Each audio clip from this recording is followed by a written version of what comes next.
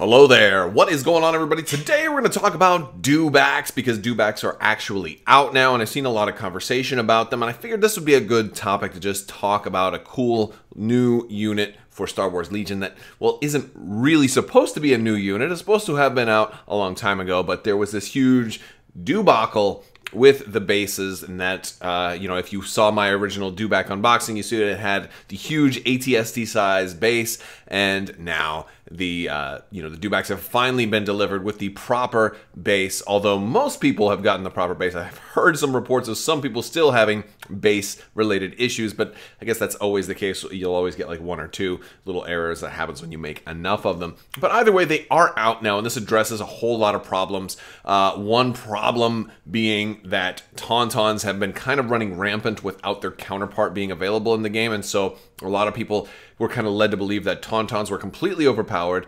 Uh, a big part of that is that one major uh, potential counter or significant threat for the other side for the Empire was that uh, the dewbacks weren't actually available yet. So now that they're out, it's going to be really interesting to see if dewbacks really kind of put a damper on the you know the the constant tauntaun spam that we sometimes see, how effective tauntauns can be, uh, and also how dewbacks are going to perform a little bit differently. Uh, so that's pretty interesting. And speaking of dewbacks, we've got a the first day of the 12 Days of Life Day giveaway winner is going to happen today. So somebody is going to win this Gen Con Spot Gloss Dewback promo, and it's oh double sided. It's double sided. There's a tauntaun on the back, and this is the thick credit card size promo. These are the really super super nice types of promos. This is this is definitely what you want.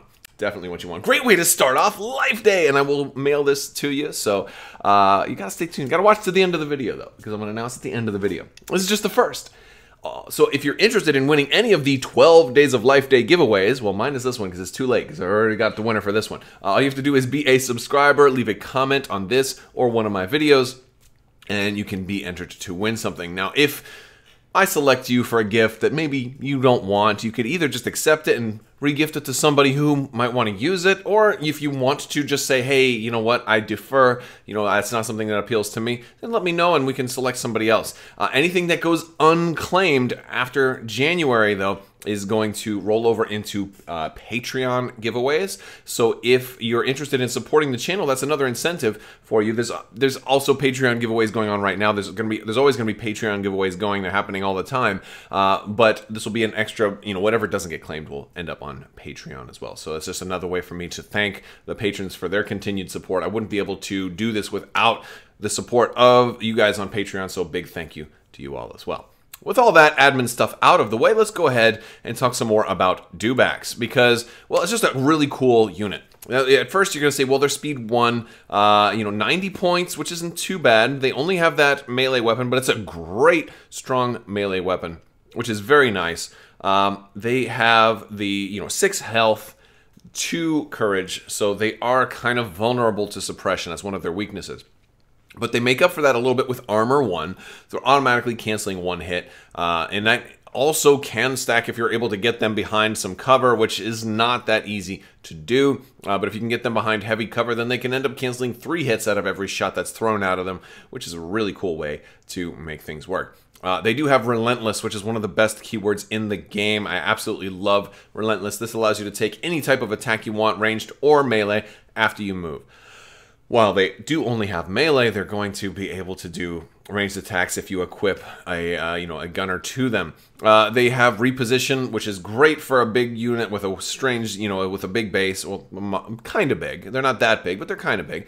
Uh, they also have spur, which is hugely important. It allows them to increase their speed up to speed 2, which with a kind of large base is really, really cool. It's that ATRT size base. So they have a pretty big base and they are unhindered, which does help them kind of walk right over barricades and, and other like moderately sized terrain. As long as the terrain isn't larger than the, the height of the mini, uh, then they're going to be able to walk right over it. And if it gets bigger than that, then they're going to have problems. They're going to have to try and go around. But that is nice. Now, they do come with training, com, and the weapon, uh, you know, the, upgrades. Not a whole lot of upgrades you can give to them, but we're going to take a look at some of the upgrades. Now, before we look at the different guns that we like to run, their melee attack is strong here. So none of their none of their gunners, none of their gun options are going to have uh, you know a, a, another melee option. Your, your your melee option is already really strong here with six dice, critical two, and suppressive is really nice. Uh, it, and it's basically the stormtroopers hitting you at the same time the dewback is clawing you. And I feel like the stormtrooper's weapon has the suppressive keyword, and the dewback's claws have the the, the critical two, the red. That's kind of how I kind of feel like they work together. But this is I, the first um, type of like melee weapon that I feel is two weapons combined into one almost. And it makes me wonder if like I wonder if at one point in the design process they thought of making this two and then giving them like maybe uh, Arsenal 2, but that might have been problematic. Uh, I'm not sure because um, we would have only been able to use it this way, you know. So it just makes me wonder what kind of steps this thing went through, what and how they ended up with a razor claws and shock prod which is kind of cool. Uh, they do have the red defense die, which is great because you got you got the thick rhino hide there, and then the stormtrooper plastoid armor, but no defensive surge. So if you've got ways to give out surge options, that is certainly cool.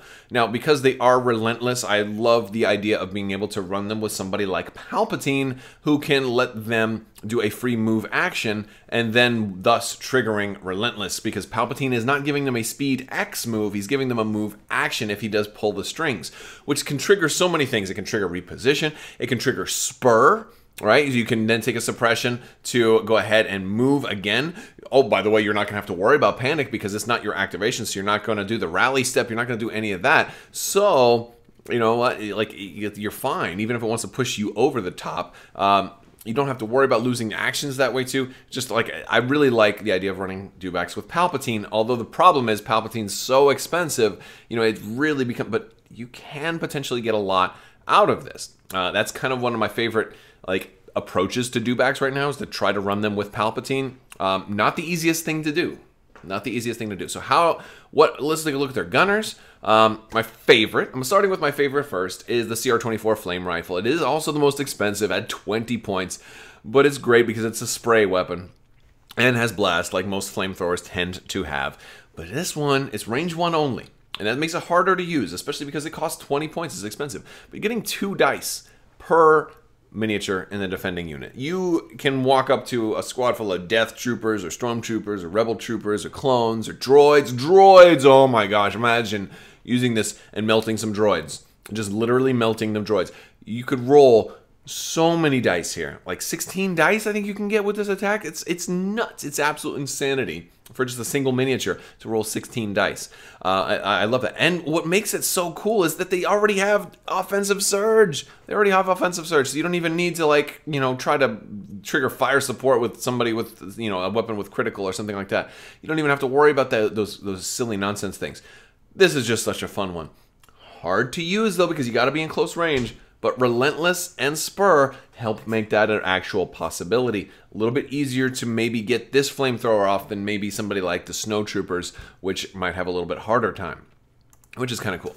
Um, alternatively, you got the range 4. If you want to stay long range, you've got the RT-97 Charlie Blaster Rifle.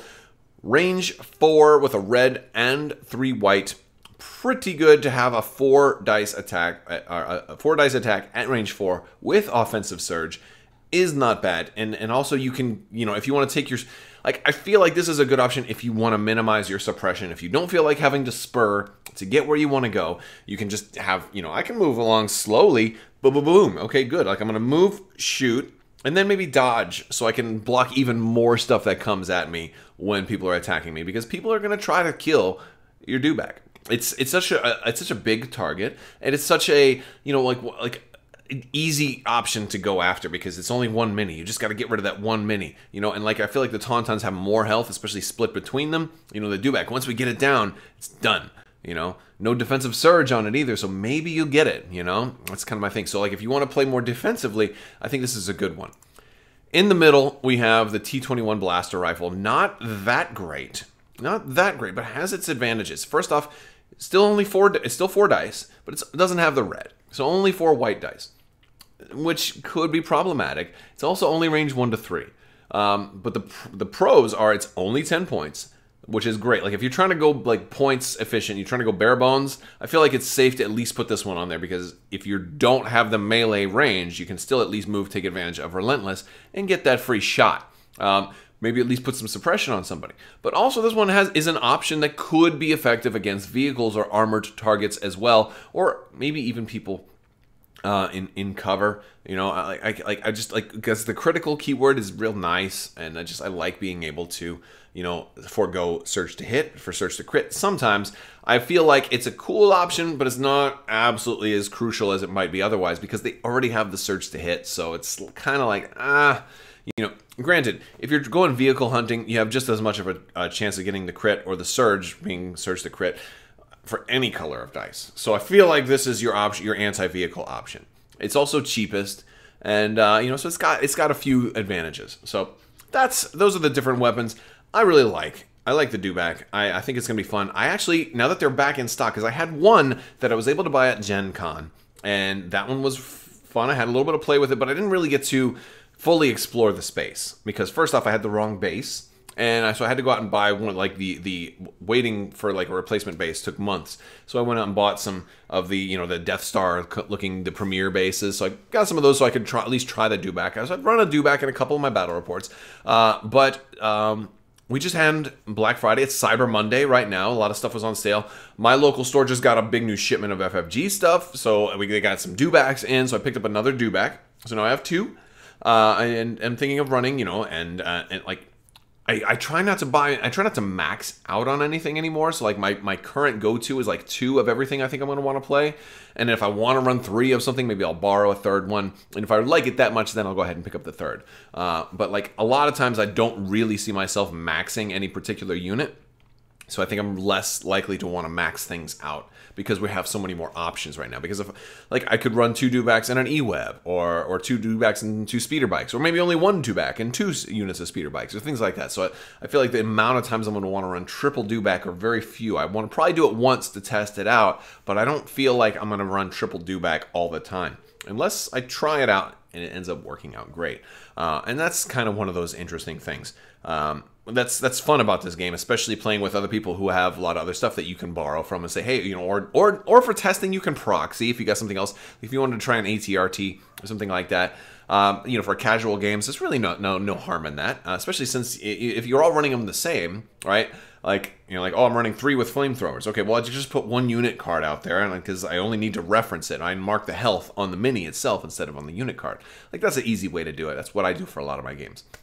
But some of you have probably um, been talking. I've seen a couple of people saying, "Hey, we, how are you guys doing your Dewback paint jobs?" Um, I had done, you know, a lot of Dewbacks are kind of just kind of green, basically. And I had done one a little bit more bright green a while back, and I think you saw him in one of my battle reports where I made him kind of bright green, a little bit neon green, with some deep, like with a little, some like yellow dry brushing. And I did like red and yellow on the saddle and the harness to kind of make him look like a Mountain Dew can because I called him a Mountain Dewback which I thought was kind of funny.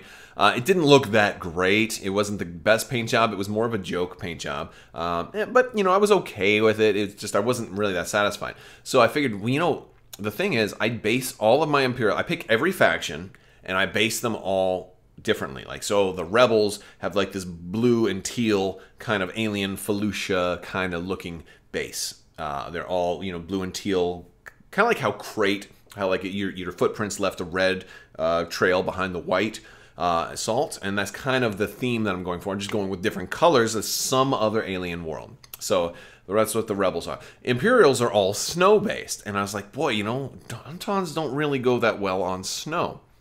Um, and you know, so I decided, well, what would um, not tauntaun. Tauntauns go great on snow. Dewbacks don't do, don't go particularly well on snow. So what would a dewback look like that you know was meant to go well on snow. So for my second dewback.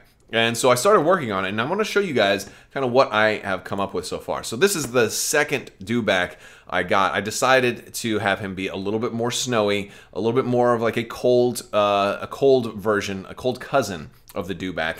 I'm calling him the blueback corny. I know it's a dad joke. I know it's terrible, but yeah. So I kind of kind of pleased with kind of how he's turning out. I got to do a little more uh, work on his rider. Uh, his rider's kind of just kind of bare bones right now, but.